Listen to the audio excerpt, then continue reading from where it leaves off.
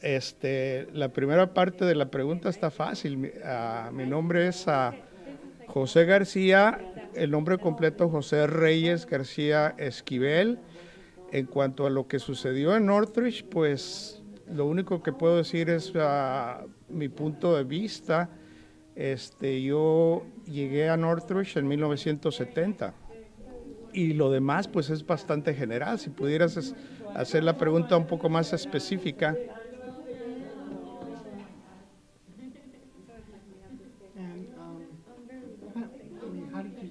What, were, were you part of? Why were you shooting at Northridge? You- you- Eh, eh, esa, no, sí, en la high school.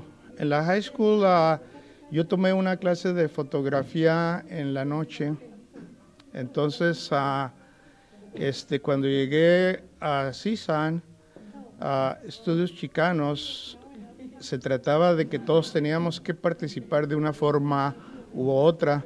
Yo estaba muy interesado y quería, quería ver las diferentes actividades que estaban ocurriendo, por lo tanto, eh, pensé que una forma de hacerlo es a través de la fotografía. Podía tomar fotografías de los diferentes comités que existían en ese tiempo. Recuerdo el comité de educación, recuerdo que inclusive fuimos a la escuela San Fernando eh, Elementary este, y otros, otros ah, comités. Entonces, ah, después de eso, eh, terminé en el Popo por varios años. El Popo es el periódico en ah, San Fernando Valley State College que después se convirtió en CSAN. Es el periódico ah, de, lo que, de los chicanos, el Popo. Um, did you or how did you, how did you publish that? No, las fotografías, ah, este, inclusive hay fotografías, eh, hay dibujos en el popo donde se me ve con una cámara y la razón es porque siempre traía una la cámara, siempre estaba este, tomando fotos, aunque no, no estudiaba fotografía. Este, había otro fotógrafo que sí me parece que estudiaba fotografía, Oscar Castillo.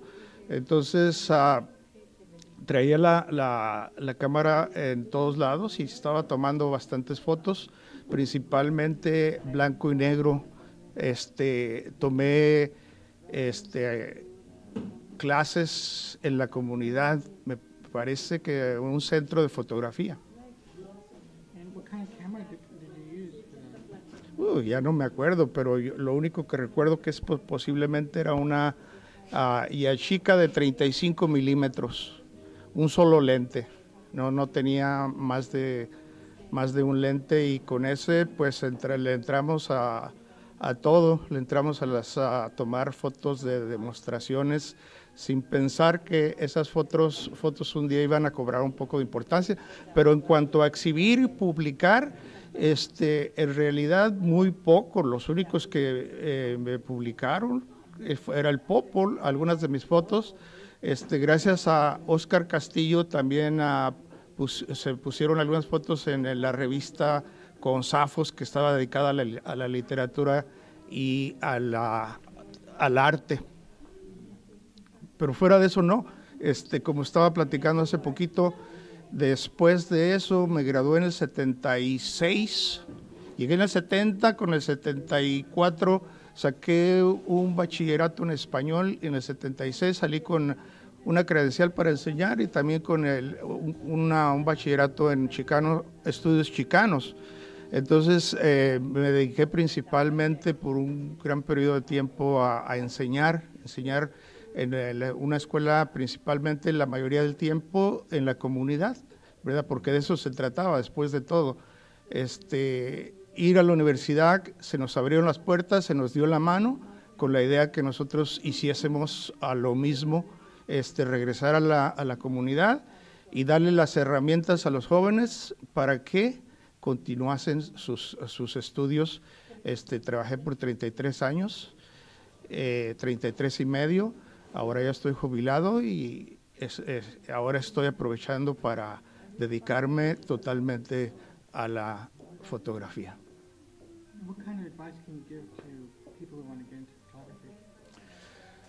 Pues ah, ¿qué, se les podrá decir? Si verdaderamente te gusta la, fotografía, eh, en nuestros tiempos todo es más fácil con, la, con el internet, con las computadoras.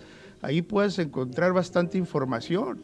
Este, dedícale, ponle tiempo y fíjate en el trabajo de otras personas y hay que desarrollar también el, ojo, como me decía este, un fotógrafo que yo considero muy bueno, Robert Hell, como me decía, este, en cuanto a mi trabajo, ¿verdad? Porque yo también al mismo tiempo, aunque ya estoy viejo, este, y me doy cuenta que el tiempo se me está acabando, pero de todos modos yo sigo trabajando. Este, me, decía, eh, me decía en cuanto a mi trabajo que hay que desarrollar el ojo antes no lo entendía, pero ahora sí lo entiendo, porque cuando veo mi trabajo de hace un año, veo que necesitan diferentes cosas.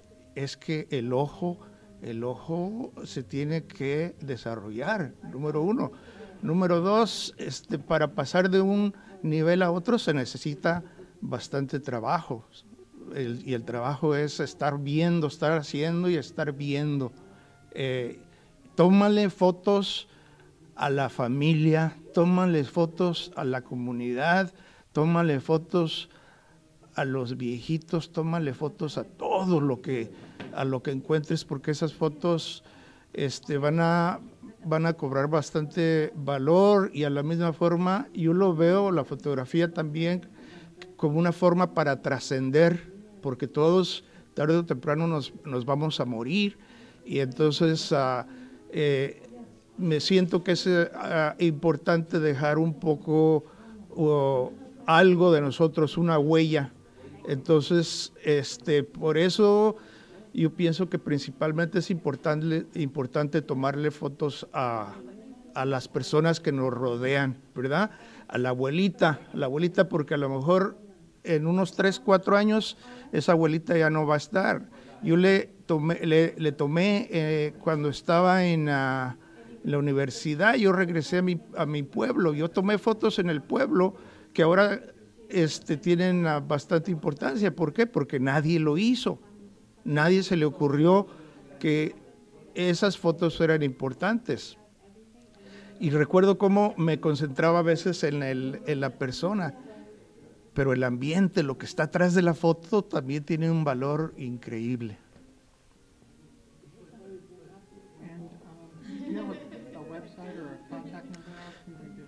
yo, yo comencé con la idea de, después de que me jubilé de trabajar en eso, este, inclusive este, hice con otra persona una boda o dos y en ese momento este, eh, pagué porque me hicieran una website, pero esa website ya desapareció porque me di cuenta que eso no es lo que me importa a mí, porque ahora estoy en una situación un poco diferente. Le importa a un fotógrafo que está teniendo que vivir de la fotografía.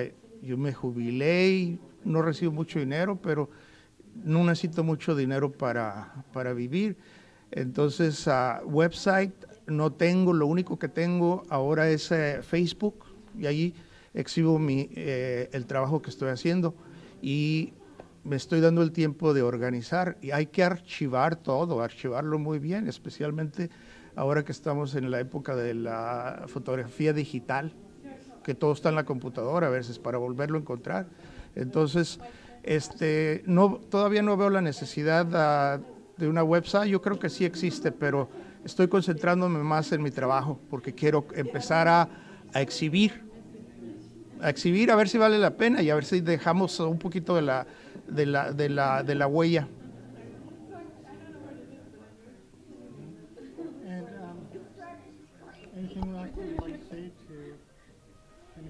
Bueno, este, lo único que se me ocurre decir es que yo vine aquí, este, estoy en el café A, que está en Oxnard. Hoy a las siete y media hay un show, hay un cantante es viernes, ha estado lloviendo hoy durante el día y la verdad que ya no me daban ganas de venir porque siempre salirse de la casa cuando está haciendo un poco de frío y a la edad que uno tiene, como que lo piensa dos veces, pero yo vine a tomar una foto y terminé aquí dando una entrevista. Así es de que hay veces que es bueno salirse de la rutina y echarle ganas, porque al final de cuentas eso es vida. Y eso es lo que principalmente las artes, yo pienso que le dan vida al alma. No necesita uno ser millonario, no necesitas comprarte una super cámara. Este, aprende la cámara que tienes, lee el manual, toma fotos y es encantador. Eso es todo. José Reyes García, José García. Y todo eso tiene también una historia. Recuerdo que cuando era niño era Reyes, pero parece ser que en el registro social le pusieron José. Cuando vine para acá me convertí en José. Pero José Reyes García Esquivel, para servirles.